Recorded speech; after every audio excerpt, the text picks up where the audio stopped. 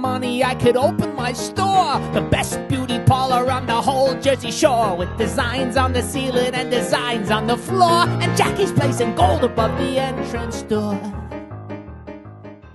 Tell us some more, you got the answer. How did you know what to do? You found the cure to the ocean's cancer. That's what they say. What say you?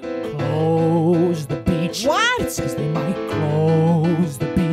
beach. What says the pollution in the sea Pahoo? is increasing rapidly? What's that do? It's just a matter of time before Yeah? it infects the Jersey Shore.